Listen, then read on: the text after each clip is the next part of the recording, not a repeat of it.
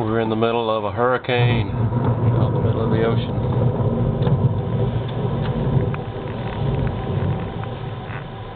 Getting rough out there.